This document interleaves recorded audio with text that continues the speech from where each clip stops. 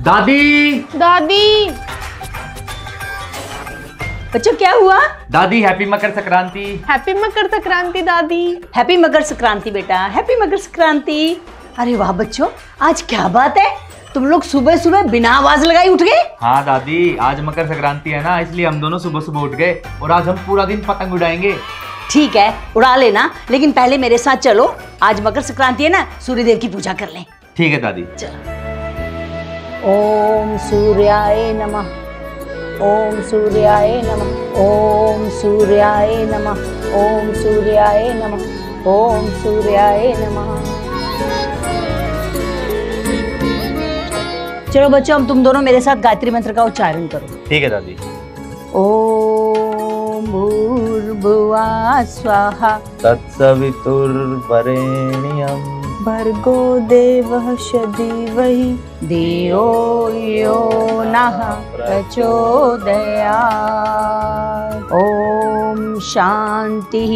ओम शांति शान्तिः। ॐ। चलो दादी सूर्य पूजा तो हो गई। अब चलो हमें ना आपको कुछ दिखाना है वो कहाँ जाना है? अरे दादी चलो ना आपको कुछ दिखाना है। अच्छा ठीक है चलो। आ जाओ।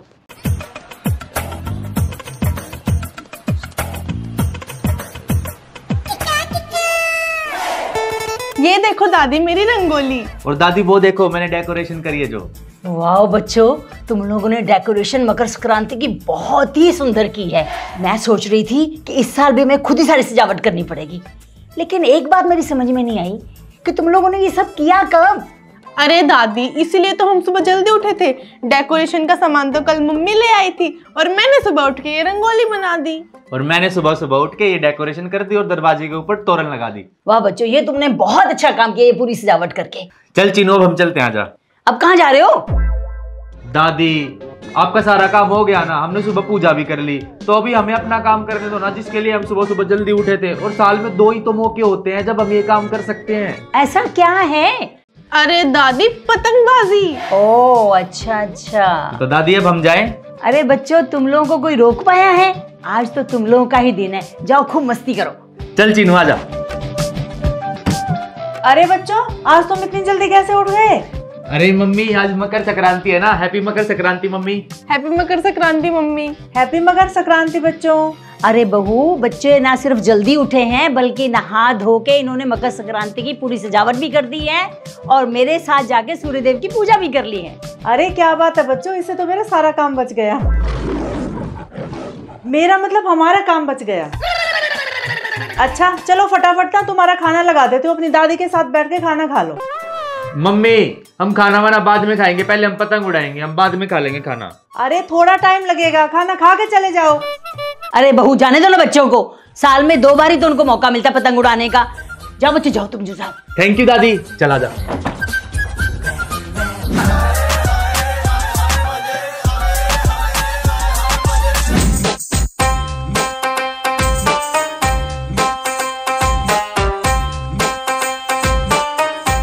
अब देखियो भाई तू मेरी शक्ति। मैं जैसे ये पतंग हवा में फेंकूँगी ना ये ऐसे चील की तरह उड़ते हुए जाएगी। अच्छा उड़ा के दिखा चल।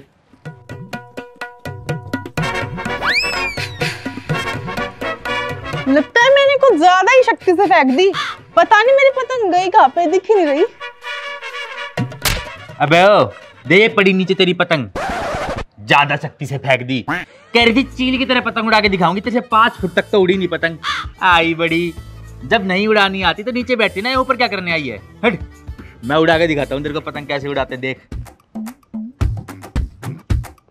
देखा, ऐसे उड़ाते हैं पतंग। देख रही है, एक मिनट के ऊपर कहाँ पहुँचा दी?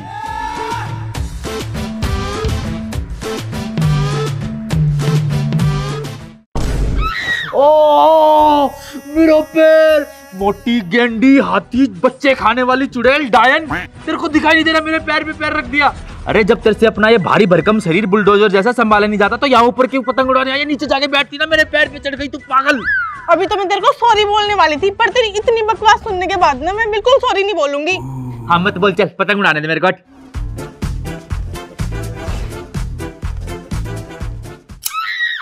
तूने मेरी पतंग काट दी। चुपचाप नीचे जाके बच्चों की तरह डोरी मोन देख। ले मैं भी तेरी पतंग फाड़ दी। तेरी हिम्मत कैसे हुई मेरा पतंग काटने की? तेरी हिम्मत कैसे हुई मेरा पतंग फाड़ने की?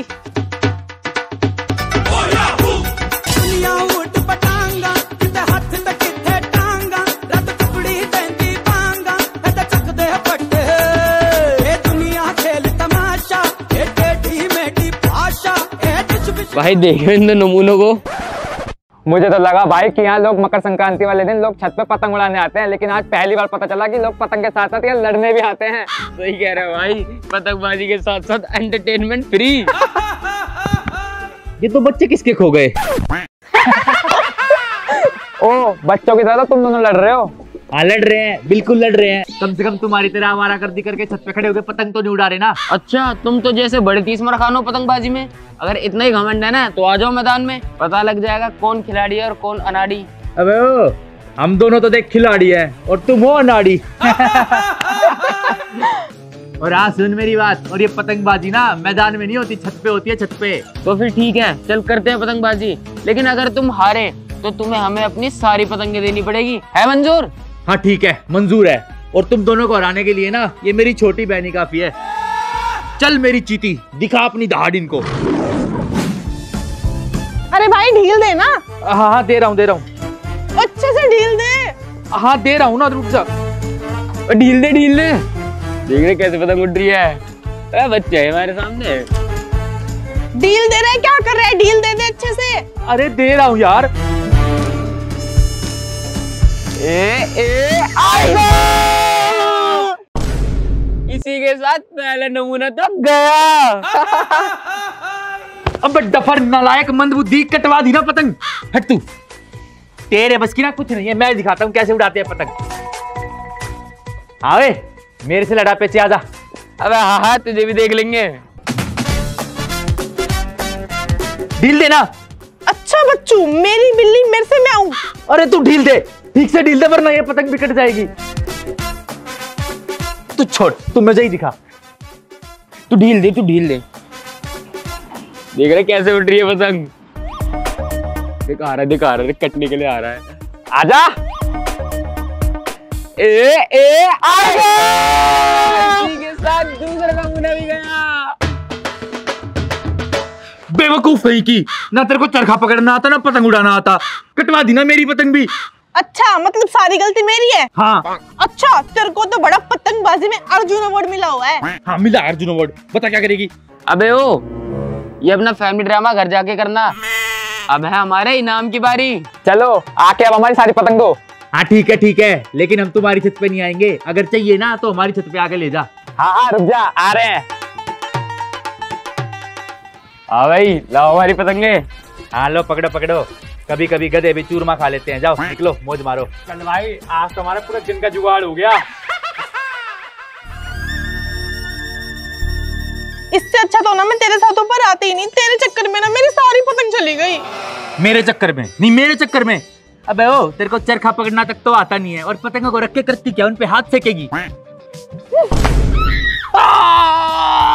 मेरा पैर। अब डायन कहीं की कौन से जन्म का बदला निकाल रही है? मेरा पैर फोड़ दिया। सॉरी भाई सॉरी है मैंने जानबूझ के नहीं किया। तेरी सॉरी तो भी बताता हूँ मैं तेरे को। भाग कर रही है तू है? भाग कर रही है?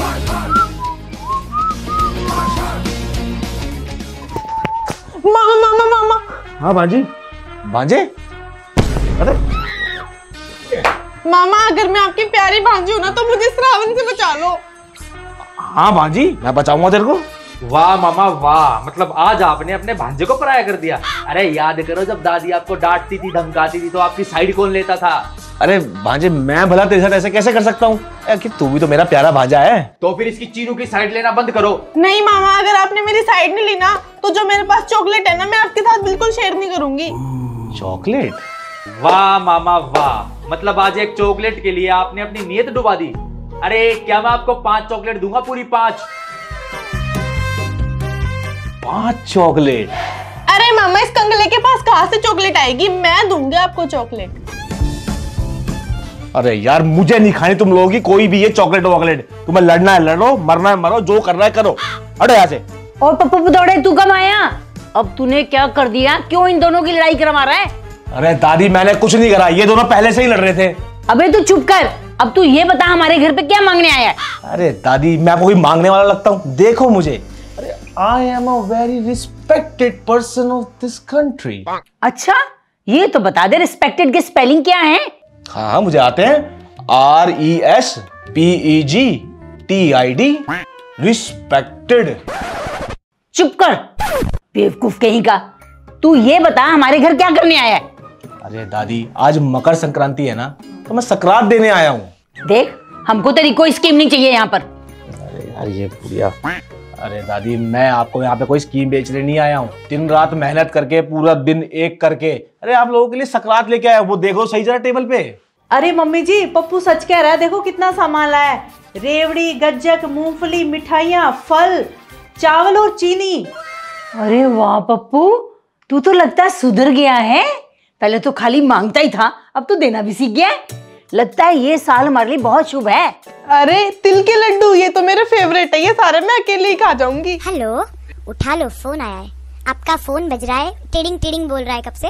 वो कुछ चिल्ला रहा है उसको कुछ अरे फ़ोन काट क्यों रहा है? उठा ले ना। अरे नहीं नहीं दादी वो वैसी कंपनी वालों का है छोड़ो ना। वो देखो ना मैं कितना सारा सामान लेके आया हूँ। अरे वाह मूंगफली गज्जक रेवड़ी। क्या बात है? सारी खा जाऊँगा। देख रचित बेटा तेरा मामा ना सकरात लाया है। तू भी अपनी बुआ के घर जा और सकरात दे आ। अरे मम्मी मैं नहीं जा रहा कहीं पे भी। बुआ को आप यहीं बुला लो यहीं बुला के सकरात दे दो। उन्हें यहाँ क्यों बुलाऊं? उनके घर जाके दे क्या सकरात जो है घर पे जाके दी जाती है। और वैसे भी ना अगर वो यहाँ आ गए तो लाख कमियाँ निकालेंगी। अरे इतनी दिक्कत है आपको तो मत दो ना सकरात। किस लिए दे रहे हो फिर? कैंसिल करो।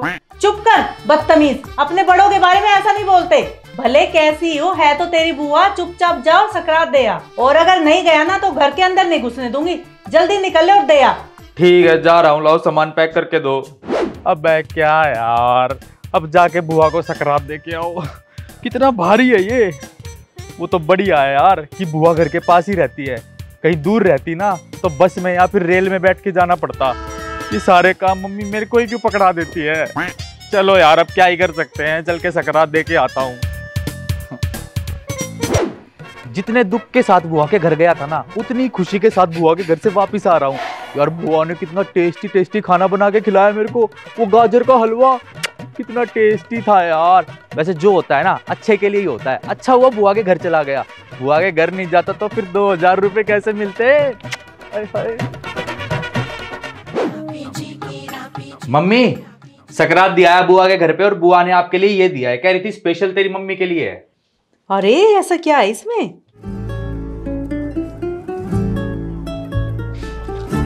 दस रुपए?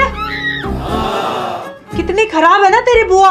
अरे नहीं मम्मी बुआ तो बहुत अच्छी है। बुआ ने ना मेरे को इतने मस्त मस्त पकवान बना के खिलाए हैं और मेरे को तो मान सम्मान के पैसे भी दिए हैं। पैसे? भाई कितने पैसे दिए? ये देख पूरे दो हज़ार रूपए दिए हैं बुआ ने मेरे को मान सम्मान के नाम के। भाई ये तो बहुत गलत बात है। इसमें से आधे मेरे को भी दे। अबे तेरे को क्यों दू ये पैसे? सकरात देने में अकेला गया था तो ये सारे पैसे मेरे हुए मेरे। ये पैसे मैं रखूँगी तुम में से कोई नहीं रखेगा। तुम ना इधर उधर खर्च कर दोगे। मेरे को दस रुपए दिए करम जली ने। हेलो। हाय हाय इस फ़ोन की। घंटी ने तो तंग कर मारा है। बज रहा है? टिडिंग टिडिंग बोल रहा है कब से? हेलो कौन है? बदतमीज बेशरम बेरोजगार इंसान। तू एक पहले मेरी दुकान से इतना सारा सामान लेके फुर हो गया और बोल के गया था कि भाई एक घंटे में आके पैसे दे रहा हूँ। और तू मेरा फ़ोन भी नहीं उठा रहा है? क्यों भाई? ये बता मेरे पैसे कब तक देगा तू? और हाँ मुझे ना और दुकानदारों की तरह मत समझियो कि अपने पैसे भूल जाऊँगा। मेरे पैसे दस मिनट में आने चाहिए नहीं तो तेरा जीना हराम कर दूँगा। ओ पप्पू ओ पदोड़े किससे बचता फिर रहे तू यार एक तो ये ठंड ने इतना परेशान करके रखा हुआ है और ऊपर से ये बदहजमी बड़ा दर्द हो रहा है और एक तो इस बुढ़िया ने भी परेशान करके रखा हुआ है खुसट कहीं की। अरे क्या हुआ दादी? क्यों चिल्ला रहे हो फालतू में? वो भी मेरे भाई पे? इसके कारनामे में बताऊँ तुम्हें? ये जो इतना सीधा और शरीफ ज़्यादा बना घूम रहा है ना पता है संक्रांत कैसे लेके आया ये? कहाँ से? अरे क्या तुम लोग सब ये बातों में लगे पड़े हो? हैं? अरे दादी को तो कभी भी मेरी कामयाबी से खुशी नहीं होती। अरे कामयाब हो तो मिले ना खुशी। सच सच बता या मैं बताऊँ ये जल्दी से बता ये सामान कहाँ से लाया तू? वो सामान तो मैं ले आया था पर उसके पैसे दे के नहीं आया था। पप्पू इतना बड़ा धोखा? अरे मामा कम से कम त्योहार के दिन तो दो नंबरी का काम मत करते। अरे बेटा आज मकर संक्रांति है ना। तो मैंने सोचा कि मैं एक अच्छे मामा की तरह तुम लोगों को सकरात देने आऊँ। अरे इसके लिए ज़रूरी नहीं है तू पूरी दुकान उठा के ले आए। एक छोटा सा मिठाई का डब्बा ले आता तो वो भी बहुत था। वो तो अच्छा हुआ मैंने तेरा फ़ोन उठा लिया। नहीं तो हमको तो पता ही नहीं चलता तू क्या घपलेबाजी करके आ रहा है। अच्छा तू ये बता इस सामान का हिसाब कितना हुआ है? वो दीदी तीन हज़ार। अरे मामा आप मेरे को ना उसका दुकान वाले का नंबर दो मैं अभी ऑनलाइन ट्रांसफ़र कर दूँगा। हाँ मैं बताता हूँ। चलो अब सब सही हो गया। क्यों ना ऊपर चल के पतंग उड़ाए? लेकिन मम्मी हमारी पतंगे तो खत्म हो गई। इसका मतलब तुम लोग हार के आए हो क्या? हाँ दादी आपको तो पता ही है हमें पतंग उड़ाना कहाँ इतने अच्छे से आता है। अरे तो तूने मुझे पहले क्यों नहीं बताया? हमने तो अपने टाइम में बहुत पतंगबाजी की है और पतंगबाजी के कंपटीशन भी बहुत जीते हैं। लेकिन आजकल तो ये सब होता ही नहीं। लेकिन एक बात बताऊँ मेरे में आज भी वो पुरानी वाली बात है और मेरे पास पुरानी पतंगे भी रखी हैं। तो चलो सब लोग मिलके छत पे चलते हैं। मैं सबको दिखाऊँगी असली पतंगबाजी कैसे होती है। चलो फिर चल के पतंग उड़ाएँगे। अरे रुको। पहले मुझे ये बताओ तुम में से किसी को मालूम है कि हम मकर संक्रांति क्यों मनाते हैं? नहीं दादी हमें तो नहीं पता मकर संक्रांति क्यों मनाते हैं। हाँ दादी वैसे मुझे भी नहीं पता। आजा तू भी आगे बैठ जा सुन ले। चलो दादी बताओ अब मकर संक्रांति क्यों मनाते हैं। तुम याद करो तुम लोगों को सुबह सुबह मैंने सूर्यदेव की पूजा कराई थी। क्यों कराई थी? पता नहीं दादी आप ही बताओ ना। कि इस दिन सूर्य देवता जो है मकर राशि में प्रवेश करते हैं और उत्तर दिशा की ओर चलना शुरू कर देते हैं। इसलिए इस दिन को उत्तरायण भी बोलते हैं। इस दिन से सर्दी कम होनी शुरू हो जाती है और दिन बड़े होने शुरू हो जाते हैं। इंडिया के कई स्टेट्स में इस दिन देवी की पूजा होती है, क्योंकि इस दिन देवी ने दो असुरों का वध किया था, जिनके नाम थे संक्रासुर और किंकरासुर। मकर संक्रांति को अलग अलग जगह पर अलग अलग नामों से पुकारा जाता है। जैसे पंजाब की साइड में लोहड़ी के नाम से जानते हैं, साउथ इंडिया की साइड में पोंगल के नाम से जानते हैं, और बिहार की साइड में खिचड़ी के नाम से जानते हैं। ये दिन किसानों के लिए भी बहुत इंपॉर्टेंट दिन है, क्योंकि इस दिन से वो क्रॉप हार्वेस्टिंग शुरू कर देते हैं मतलब फ़सलों की कटाई शुरू कर देते हैं। ये दिन एक और दृष्टि से भी बहुत महत्वपूर्ण है, क्योंकि ये दिन खुद अपने आप में एक बहुत बड़ा शुभ मुहूर्त है।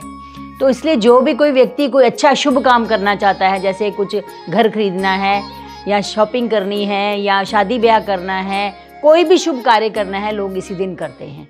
दादी ये तो आपने मकर संक्रांति के बारे में बहुत कुछ बता दिया। थोड़ा शॉर्ट करके बताओ ना। इस दिन लोग सुबह सुबह जल्दी उठ के नहा लेते हैं सूर्य देव की पूजा करते हैं, घर को सजाते हैं, रंगोली बनाते हैं एक दूसरे को मिठाइयाँ बांटते हैं और जो भी आपस का कोई मनमुटाव होता है ना, उसको दूर कर देते हैं। और तुम्हारे जैसे चुलबुले बच्चे जाके पतंगबाजी करते हैं कंपटीशन करते हैं एक दूसरे की पतंग लूटते हैं, काटते हैं, मज़े करते हैं। अच्छा एक बात और सुनो। जो अयोध्या में भगवान राम का भव्य मंदिर बन रहा है ना, उसमें अगले साल, इसी दिन भगवान राम की प्राण प्रतिष्ठा होगी। क्योंकि मैंने तुमको बताया था ना कि ये दिन जो है अपने आप में बहुत बड़ा शुभ मुहूर्त है। अरे वाह देख रहे हो दोस्तों मकर संक्रांति कितना इंपॉर्टेंट फेस्टिवल है। और ऐसा ही नहीं है कि हमारी दादी ऐसे ही कुछ भी बोले जा रही है। सब कुछ साइंटिफिकली प्रूवन है। अच्छा अब तुम लोग बताओ इससे पहले किस किस को पता था कि हम मकर संक्रांति क्यों मनाते हैं? जिनको पता था वो अपने उत्तर कमेंट में लिखो। और जिसको नहीं पता था वो इस वीडियो को सबके साथ शेयर करो ताकि सबको पता चल जाए। चलो दादी हमें पता तो लग गया कि मकर संक्रांति क्यों मनाई जाती है और साथ ही साथ हमारी ऑडियंस को भी पता लग गया। तो अब चलो चल के पतंगबाजी करें सब। ठीक है चलो चलो। आ जाओ भाई सारे आ जाओ सब बहू थोड़ा ढील देना। I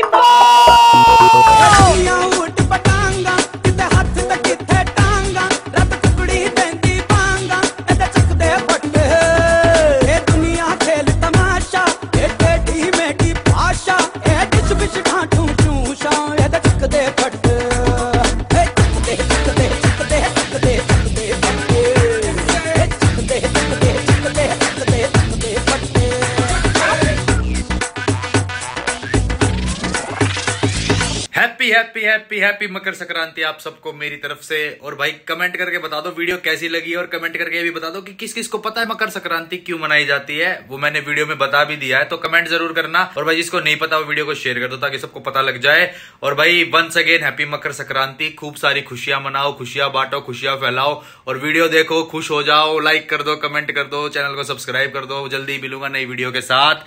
Bye guys love you bye bye bye happy Makar Sankranti once again bye